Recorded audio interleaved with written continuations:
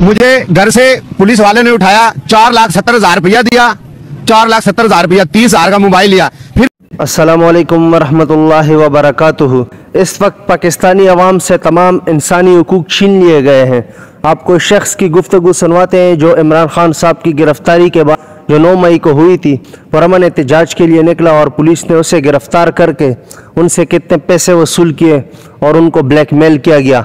पहले आपको इस शख्स की गुफ्तु सुनवाते हैं। मुझे घर से पुलिस वाले ने उठाया, चार लाख सत्तर हज़ार रुपया दिया, चार लाख सत्तर हज़ार रुपया, तीस हज़ार का मोबाइल लिया। फिर मुझे छोड़ा, कहते हैं, आपको ये जेएसक्यू में डालेंगे, वरना पैसे दो। चपेड़े, अलहदा खाई हैं पैम मारे हैं मेरी कमर पे। आधे घंटा, पैंतालीस मिनट से मारते रहे हैं। कहते हैं, सिर्फ़ बयान दो कि ये तोड़ फोड़ जो की पीडी, ये इसमें जेएसक्यू में, ये इमरान खान ने आपको बोला है। मैं मुसलमान हूँ हल्फिया बयान देता हूँ किसी ने नहीं हमें कहा हम खुद गए इमरान खान के लिए इतनी मारे खाई हैं उसके बावजूद पैसे दिए हैं मोबाइल दिया तीस हज़ार रुपए का फिर भी उसको वोट देंगे। कीमे वाली मशीन से भी निकाल देना इमरान खान को वोट देंगे वो सच्चा लीडर है। ठीक है? अगर जिंदाबाद।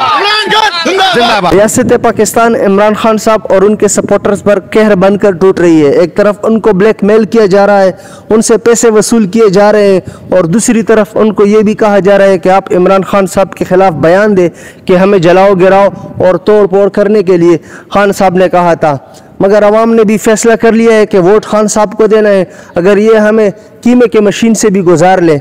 यकीनन रियासत को ये बात जल्द अज जल्द समझना होगी कि जब आवाम एक बात का तहैया कर ले तो फिर वो पूरा करती है और ना आवाम के सामने रियासत ठहर सकती है। दूसरी तरफ़, पुलिस का भी एहतजाब होना चाहिए। जो नौ मई के वाक़ात को जवाज बनाकर लोगों को ब्लैकमेल कर रही है, उनसे पैसे वसूल कर रही है।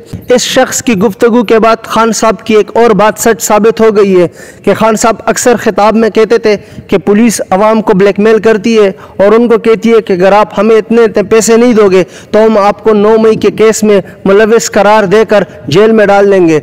आप इस हवाले से क्या कहना चाहेंगे? कमेंट बॉक्स में अपनी राय ज़रूर दें। इन नेक्स्ट व्लॉग में दोबारा आपसे मुलाकात होगी। अपना ख्याल रखें।